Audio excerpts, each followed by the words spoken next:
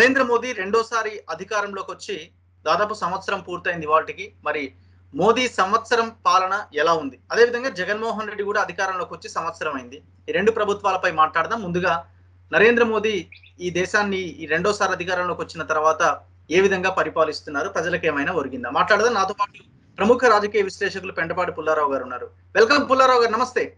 Thank you welcome ఒక్కసారి విశ్లేషించండి నరేంద్ర మోదీ ఈ వన్ ఇయర్ పరిపాలన ఎట్లా అనిపించింది మీకు? దేశ ప్రజలకి ముఖ్యంగా పేద ప్రజలకి మిడిల్ క్లాస్ వాళ్ళకి ఏమైనా మోదీ పాలన వల్ల ఒరిగిందా? ఒకటి ఇది. మొదటి సంవత్సరం కాదు మోడీ గారిది. ఇది ఆరో సంవత్సరం. అదే అంటే ఫైవ్ ఇయర్స్ కంప్లీట్ అయిపోయింది. ఒక జడ్జిమెంట్ నెక్స్ట్ ఒక ఒక కంటిన్యూస్గా ఆరో సంవత్సరం అయిపోయింది. ప్రజలకి అదే గుర్తుంటుంది. ఈ విషయంలో మోడీ గారు చేసిన మనం రెండు విషయాలుగా తీసుకోవాలి. ఒకటి ఆర్థిక వ్యవస్థ ప్రజలు వెల్ఫేర్ ప్రజల సెక్యూరిటీ భారతదేశంలో జరిగేది లోపల ఒక రకంగా తీసుకోవాలి. భారతదేశానికి అన్ని సరిగ్గా చేయాలంటే విదేశాలతో కూడా మంచి సంబంధాలు ఉండాలి. ఎందుకంటే భారతదేశానికి పెద్ద ఆర్థిక వ్యవస్థ ఉన్నది. ఒక పది ఒక కోటి మంది బయట పనిచేస్తున్నారు భారతీయులు. అది డబ్బు వస్తుంది సో విదేశాలతో చాలా సంబంధాలు ఉండాలి. అదే కాకుండా మనకి భారతదేశం పుట్టిన నలభై ఏడు ఆగస్టు పదిహేనో తారీఖు మధ్యరాత్రి నుంచి మనకి యుద్ధం జరుగుతూ ఉన్నది.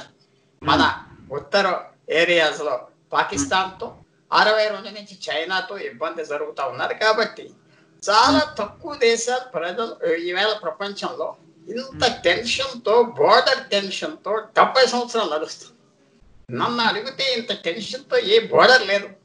ఈ సెకండ్ వరల్డ్ వార్ అవ్వాక సో అది కూడా మనం మనసులో పెట్టుకోవాలి. భారతదేశం ఏ ప్రభుత్వం ఉండినా ఇలా బుధవారం వెనకాల చూసుకుంటా చాలా చాలా గొడవలతో ముందరికి వెళ్తా ఉంటారు. సామాన్యమైన పరిస్థితి మనకు కాదు. మిగతా దేశాలకి ఈ ఇబ్బందులు లేవు. అందువల్ల ఈ ఆరు సంవత్సరాల్లో మోడీ గారు అన్నిట్లకంటే ఏమిటంటే అదృష్టం. ఆయన ఏ రోజు ప్రధానమంత్రి అయ్యాడో ఆ రోజు ఆయిల్ ధర నూట యాభై డాలర్ల నుంచి రెండు నెలలకి నలభై యాభై డాలర్లు అయిపోయి ఆయిల్ మీదే భారతదేశానికి ఆర్థిక వ్యవస్థ ఆధారపడి ఉంటుంది ఆయిల్ ధర పెరిగినప్పుడు కూలిపోతుంది. ఆయిల్ ధర పెరిగినప్పుడు ఇన్ఫ్లేషన్ ఉంటుంది ధర పెరుగుదల ఉంటాయి ఉద్యోగాలు ఉండవు ప్రజలకు చాలా ఇబ్బందులు ఉంటాయి. అలాంటి సమయంలో జూలై రెండు వేల పదిహేడు నుంచి యాభై డాలర్లు ఒక బ్యారెల్ అరవై డాలర్లు బ్యారెల్. అలాగే సంవత్సరాలు ఆయన అదృష్టంతో చెట్టుకుంటూ వస్తుంది కాబట్టి ఆయన ఏమి చేసినా ఏమి చేయకపోయినా ఆర్థిక వ్యవస్థ సాఫీగా జరుగుతుంది. ఒక మనిషి ఉద్యోగం వెళ్ళినా వెళ్ళకపోయినా పర్మనెంట్ జాబ్ అండి. ఆదాయం వస్తే ఎలా నడుస్తుంది? అలా నడిచిపోయి ఆయన పెద్దగా చేసిన ఆర్థిక వ్యవస్థలో మాత్రం లేదు చేయగలిగింది చేయలేదు. సంవత్సరానికి ఆయిల్ ధర తగ్గినందుకు మూడు లక్షల కోట్లు నాలుగు లక్షల కోట్లు దాదాపు గవర్నమెంట్కి సేవింగ్ అయింది అన్ని సబ్సిడీల మీద అన్ని విధాల మీద పన్నులు కూడా రావడం ఇవన్నీ చేసుకున్నాక కనపడేది ఎస్ రోడ్లు కట్టారు ఎయిర్పోర్ట్లు ఉన్నాయి కానీ అది అంత ఉపయోగం లేదు. ఎందుకంటే ఎక్కువ కడతాం కూడా ఉపయోగం లేదు. సో ఆర్థిక వ్యవస్థ మనం గుప్తంగా చెప్పాలంటే ఆయన ఒక బి బి ఇవ్వాలి బి మైనస్ ఇవ్వాలి. ఇంకా సి ప్లస్ అంటలేదు బి మైనస్ అంటే ఏదో చేశారు. ఉన్న కొద్దిగా నోట్బందీతో నవంబర్ ఎనిమిదో తారీఖు రెండు వేల పదహారు పూర్తిగా పాస్ చేశారు. కానీ భారత్ ఆర్థిక వ్యవస్థ బలంగా ఉన్నది కాబట్టి అలాంటి దెబ్బ చరిత్రలో ఎక్కడా జరగని నోట్బందీని తట్టుకొని బయటకు వచ్చాం సో మోడీ గారి అదృష్టం భారతదేశంలో ఉన్న బలం కాసి విదేశ విషయాలు చాలా చక్కగా చేశారు చాలా ధైర్యంగా చేశారు మంచి సంబంధాలు పెట్టుకున్నారు. మిగతా గత ముప్పై నలభై సంవత్సరాలు బట్టి ప్రధానులు ప్రభుత్వాలు చేయని పనులు చేశారు. ఆ దేశాలతో మంచి టైఅప్ చేసుకున్నారు. చాలా చక్కగా ఫారెన్ పాలసీ డిఫెన్స్ పాలసీ మాత్రం చేస్తున్నారు. సో రెండు రకాలుగా మనం చూడాలి. ఇంటర్నల్ చూడాలి ఎక్స్టర్నల్ చూడాలి. ఫైనల్గా లేబర్కి లోవర్ పోర్ క్లాసెస్ చేస్తా పోతున్నారు. ప్రతి గవర్నమెంట్ మన దేశంలో అది చేస్తా పోతారు ఎందుకంటే అది ఎలక్షన్ కంపల్షన్స్ ఉన్నాయి. పేదవాళ్ళకి చేయాలి. ఆయన అధికారంలో రాగానే కాంగ్రెస్ పార్టీ ఏం చేయట్లేదు ఏం చేయట్లేదు అన్నారు కాబట్టి ఆయన చేయడం మొదలుపెట్టాడు. Opposition criticism కాసుకున్నాడు. మిడిల్ క్లాస్కి ఎక్కువ చేసేదా? అదే నాకు కనపడట్లేదు. మిడిల్ క్లాస్ అనగానే ఆర్థిక వ్యవస్థ ఎలాగో బాగున్నది కాబట్టి ఎలాగో చక్కగా వెళ్తుంది కాబట్టి ఉద్యోగాల్లో లోటు లేరు పెద్ద ఉపయోగాలు లేకపోయినా కష్టాలు లేవు పన్నులు అతిగా పెంచలేదంటే జ్ఞాపకం పెట్టుకోవాలి. మనకి ఆయిల్ ధర తగ్గింది. ఆయిల్ ధరకి ఎంఫోసిస్.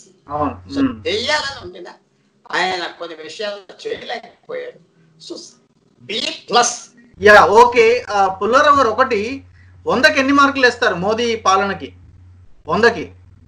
వంద కంటే ఈవేళ అరవై మార్కులు దాదాపు. ఫస్ట్ క్లాస్ ఫస్ట్ ఫైనల్ అలా వచ్చారు. ఎందుకంటే చక్కగా కలిసి కూడా వచ్చి ఆయన కలిసి వచ్చింది నన్ను ఇందాక చెప్పాను ఆర్థిక వ్యవస్థలో చక్కగా వర్షాలు పడ్డాయి పంటలు వచ్చినాయి. ఆయిల్ ప్రైస్ తక్కువగా ఉన్నది. అది ఆయన చేసింది కాదు కదా. అది అది సహజంగా జరిగినవి అవన్నీ.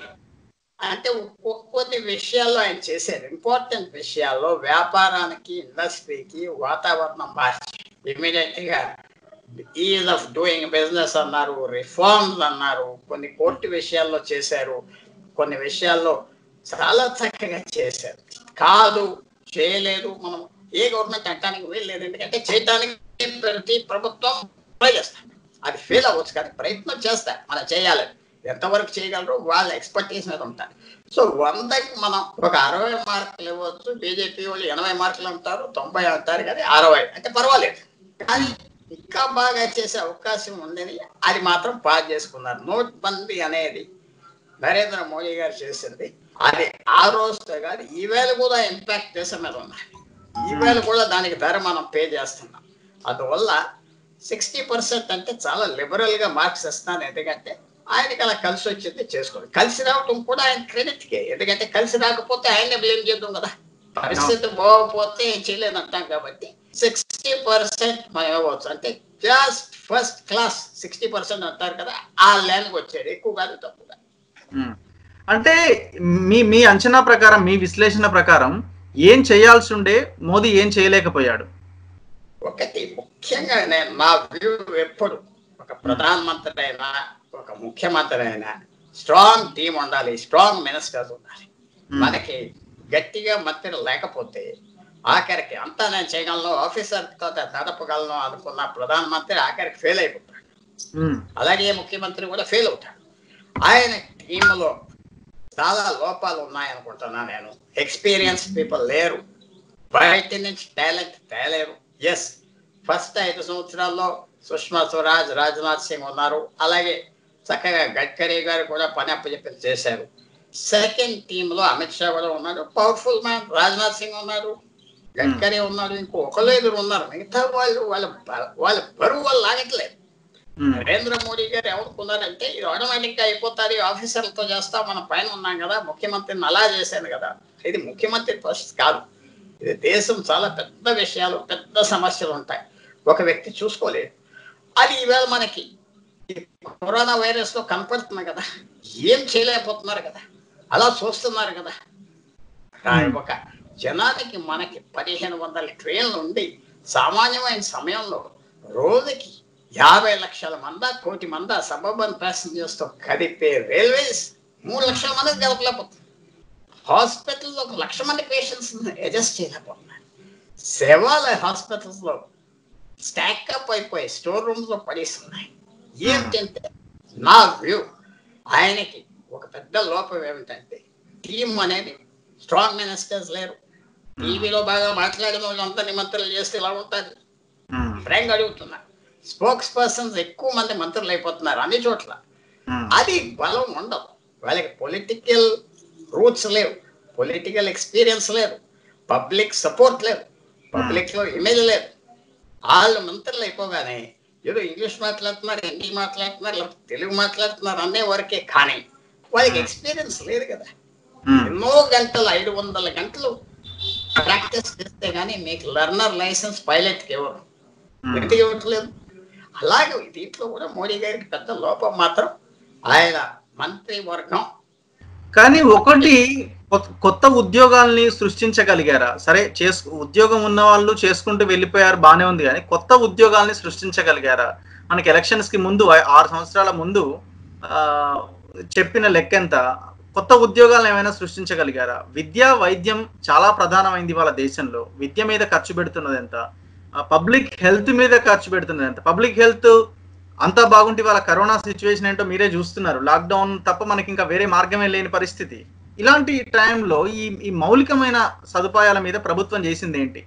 భారతదేశంలో బీజేపీ ప్రభుత్వం చేసింది ఏంటి?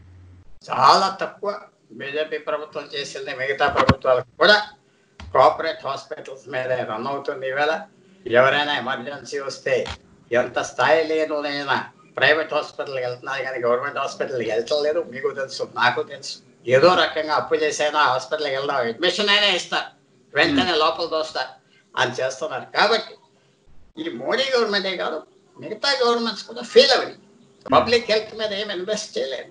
పబ్లిక్ మెడికల్ ఎడ్యుకేషన్ మీద చేయలేదు. హెల్త్ మినిస్ట్రీని చాలా డౌన్గ్రేడ్ చేశారు. అన్ని చోట్ల. ఏదో మెడికల్ కాలేజెస్ ఎవరో పెట్టారంటే కరెక్ట్. మీరు పబ్లిక్ హెల్త్ మీద ఇన్వెస్ట్ చేయలేదు కాబట్టి ఆటోమేటిక్గా మిడిల్ క్లాస్ పేదవాళ్ళు జోబులో నుంచి డబ్బు ఆరోగ్యం మీదకి వెళ్ళిపోతారు. ఖర్చు అంతా అక్కడ పోతుంది సో పేదరికం పేదరికంలాగే ఉంటారు. ఇన్సూరెన్స్ కంపెనీస్ రీసెర్చ్ చేసి ఏమంటారంటే ఎక్కువ వైద్యం ఖర్చు మనిషికి. తొంభై శాతం ఖర్చు మనిషి ఆరోగ్యం మీద ఆఖరి సంవత్సరం ఆయన జీవితంలో ఖర్చు పెడతారు ఆఖరి ఇంకా హాస్పిటల్స్ ఆ పల్లె మీద తిరగటం మొదలు పెట్టి ఖర్చు అయిపోతారు. అది ఏమి ఏర్పడలేదు ఇన్సూరెన్స్ లేదు.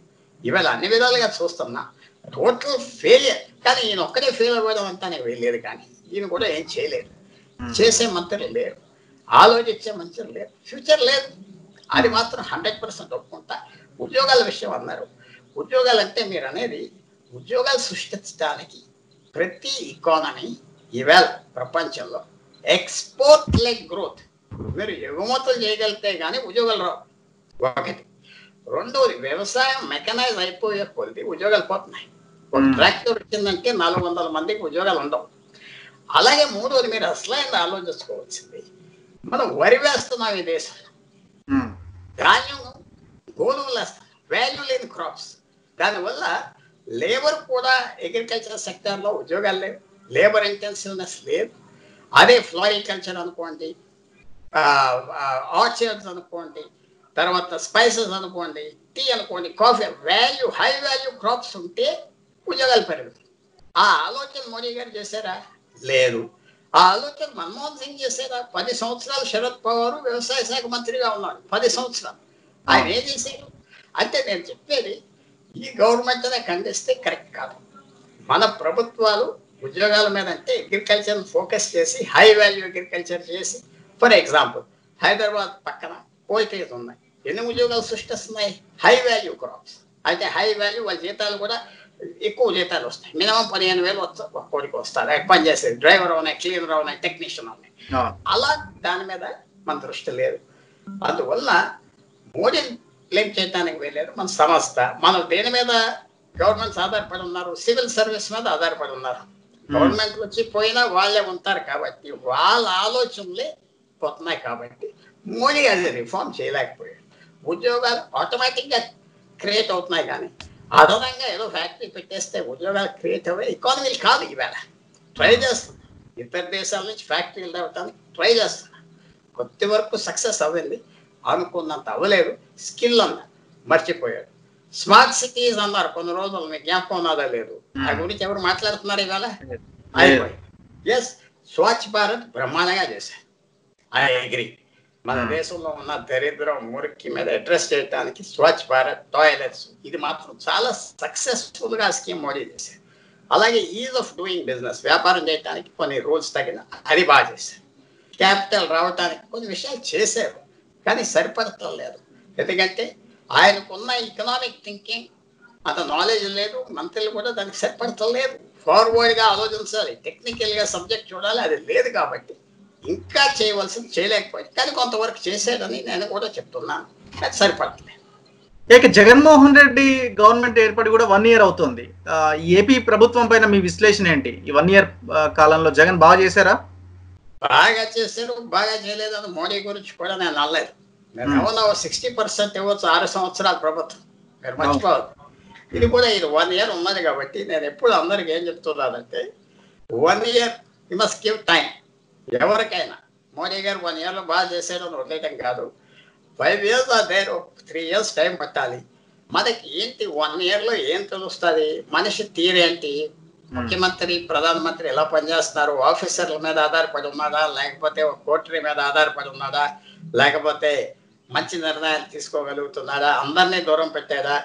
కొంతమంది దగ్గర ఉన్నారా? ఇలాంటి ఇన్సైట్స్ మాత్రం మనకు వస్తాయి. ముఖ్యమంత్రి ఏ దారి మీద వెళ్తున్నారు? అయితే ముఖ్యమంత్రులు దారి మార్చుకోగలరు మధ్యన. మనం వన్ ఇయర్ టైంలో ఆయన చెప్పింది ఆయన ఏదో నవరత్నాలే చేస్తానన్నారు కాబట్టి దాని మీదే ఫోకస్ అవుతుంది అది చాలా ప్రజలకి ఆంధ్రాకి అది సరిపడుతుందా? అది మనకి టైం చెప్తుంది. ఈవేళే మనం దాని మీద ఇష్యూస్ ఇష్యూస్ చాలా వ్య- వ్యతిరేకంగా ఈ కోర్టులే ప్రభుత్వాన్ని ప్రశ్నిస్తున్నాయి. ఇవాళ నిన్నటి ఎలక్షన్ కమిషనర్ కావచ్చు ఎల్జీ పల్మర్స్ ఇష్యూ కావచ్చు ఇంగ్లీష్ మీడియం కావచ్చు మొన్న డాక్టర్ సుధాకర్ ఇష్యూ కావచ్చు క్యాపిటల్ ఇష్యూ మే మేజర్గా పబ్లిక్ నుంచి వస్తున్న రెస్పాన్స్ ఇవన్నీ కొంత వ్యతిరేకతని మూటగట్టుకుంటున్నారేమో అన్న ఒక చర్చ ఉంది. వాస్తవం కదా?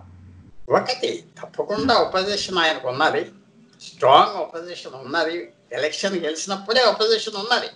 ఎందుకంటే ఎలక్షన్ మూడు నాలుగు క్యాండిడేట్స్ అన్ని చోట్ల పోటీ చేశారు కాబట్టి పెద్ద మెజారిటీ ఓటింగ్ రాలేదు. యాభై శాతం ఓటింగ్ పెద్ద విషయం కాదు. నలభై ఐదు యాభై శాతం అంటే. సో ఒపోజిషన్ ఆల్రెడీ ఉన్నది ఇప్పుడు ఒక ఇంటెలిజెంట్ ముఖ్యమంత్రి చేసుకోవాల్సింది ఏమిటంటే ఆయనకి పడ్డ ఓట్లు పోకుండా చూసుకోవాలి. అదర్ సైడ్ పడిన ఓట్లు కొన్ని మెల్లిగా సంపాదించుకుంటా పోవాలి. అది ఎవరు? నవీన్ పట్నాయక్ చేసే పని జ్యోతి బాసు చేసే పని ములాయం సింగ్ చేసే పని అక్కడ బీజేపీ శివరాజ్ సింగ్ చేసే పని ఎదర వాళ్ళని విడగొట్టి మనం వాళ్ళ గుడ్లు సంపాదించుకుంటాం. అది ఎంతవరకు చేస్తున్నారు? మనకు తెలియటానికి ఇంకా కొన్ని రోజులు పడతారు. ఎందుకంటే ప్రజలు గవర్నమెంట్ రాగానే ఏదో ఇస్తారు మనకి. మనకేదో వస్తుంది. అంతా మన ఆంధ్ర తెలంగాణ తమిళనాడులో ప్రజలకి ఏంటంటే పరిపాలన మీద లేరు. ఏమిస్తారు. మనకి ఫ్రీగా ఏమిస్తారు? గవర్నమెంట్ ఐదు వేలు ఇస్తారా? పదివేలు ఇస్తారా? గొడవ ఎందుకు? ఆగుదాం? అనే ఆ పరిస్థితిలో. మనం వన్ ఇయర్ ఉంది కాబట్టి మనం ఏం రిమార్క్ చేయగలమంటే ఆయన ఒకే లైన్ మీద ఉన్నాడు నేనేదో ఈ తొమ్మిదో పదో విషయాల మీద చేస్తా. మిగతా నాకు సంబంధం లేదు అన్న లైన్లో ఉన్నాడు అనుకుంటున్నాను నేను.